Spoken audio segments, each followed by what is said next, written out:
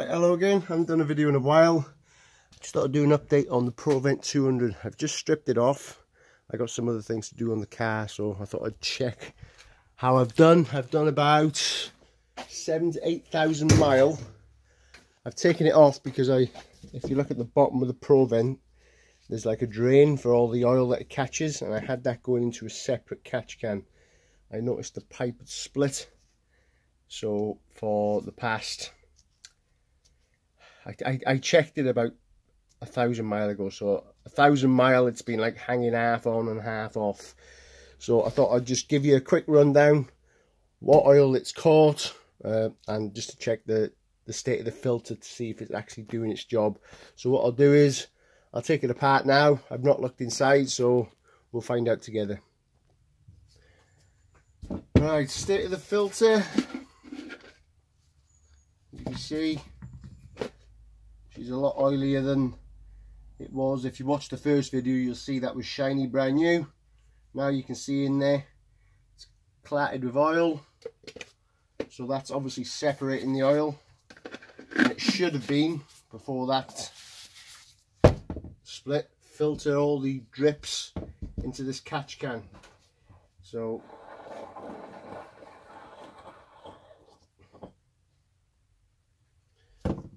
So that's about up to there full. Don't know how much that is in mils, but I'll show you. That's off about seven or eight thousand miles. So imagine all that is going into your intake, causing your carbon buildup. So that's definitely doing its job. And like I say, that's been split for a thousand, maybe, maybe more. I don't know. Um, I know it's been leaking because I've seen the oil drip down the chassis leg uh, and onto the, the, the tray pan. So it's definitely doing its job. Highly recommend doing it.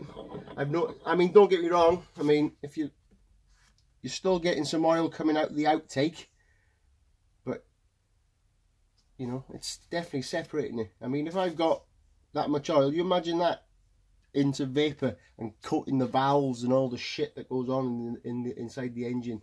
So even if that's 60%, it's a lot better than 100% going through, isn't it?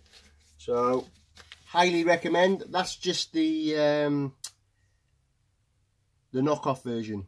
Um, found on eBay, I think I give about 28 quid for it, I'm not too sure.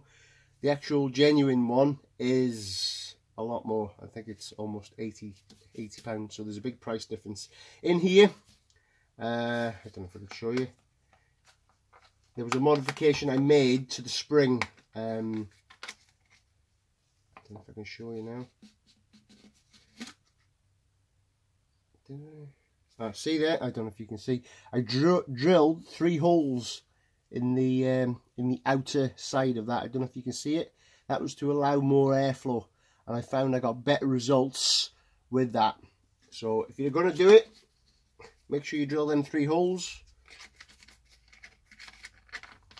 and then put it back together so it's nice and tight. Um, it's a bit sooty. I've just noticed that my um, DPF delete plate, the, the gasket had gone, so it's a good job I looked at it today. But look at it. Quite a good amount of oil saved. Highly recommend. Please like and subscribe to my YouTube channel. Any support is much appreciated. Thank you for watching.